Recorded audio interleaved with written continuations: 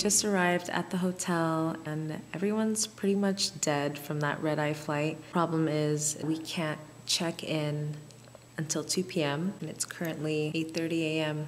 I think we're just gonna go eat breakfast and maybe like explore the streets and shop a little bit while we wait for a check-in time. But the real reason why we came to New York in the first place was drum roll please. I got a billboard of my work in New York. And it's in Times Square. First billboard and the location couldn't be any better. But I'm just really happy to be here. I think we all are. I haven't been to New York in a long time, probably like five, six years. It's pretty crazy. I've already cried thinking about it and just, you know, feeling so blessed and grateful, but it just like hits different when you're here. The billboard isn't gonna be up till a few days from now. So until then, we're just gonna be exploring, shopping, eating, and just having the best time here.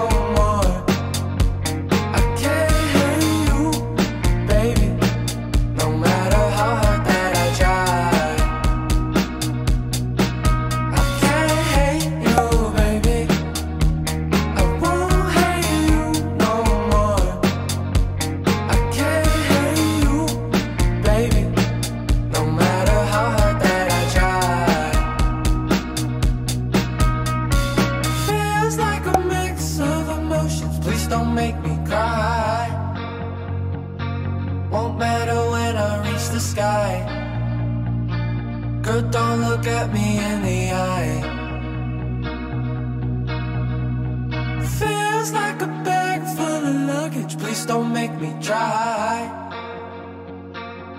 Cause you know I fucking hate it.